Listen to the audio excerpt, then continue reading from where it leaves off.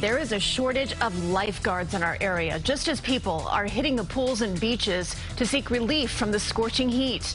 Welcome back. I'm Christine Johnson. I'm Maurice Dubois. That critical shortage of lifeguards will certainly impact pools, beaches, and camps. And there is now an effort underway to get more people to sign up. CBS 2's Jennifer McLogan has more.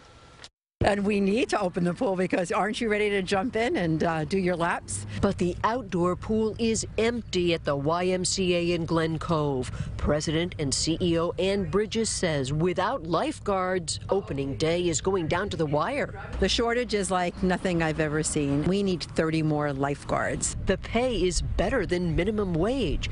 Desperate employers are raising the stakes, offering certified high school and college students 17 to 25 $25 an hour or more. There's a place in the Hamptons, they're offering $30 an hour, plus they give you an apartment for the summer. Beach clubs, pools, and summer camps are reaching out to Madi Allahu for help. He trains lifeguards. For a month and a half, we were the only ones in New York State running lifeguard classes. His 20-hour class costs $395 at Swim Stars of Rockville Centre. Would-be employers say they will even pick up the tab.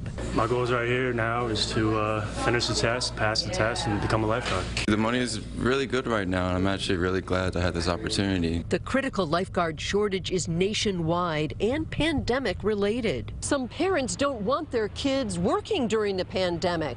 Some teens say after sitting home for a year, they're out of shape and fear they wouldn't be able to pass the lifeguard physical. The town of Hempstead reports due to early planning, its beach lifeguards are in place, but still needs 50 swimming pool lifeguards. This is a great opportunity. You're outdoors, you know what, you're by the water, let it be the ocean, you're at the pools, and you really have the desire to really be there and help people because you're protecting lives. Lifeguards are fulfilled, he says, with friendships and service. On Long Island, Jennifer McLogan, CBS 2 News.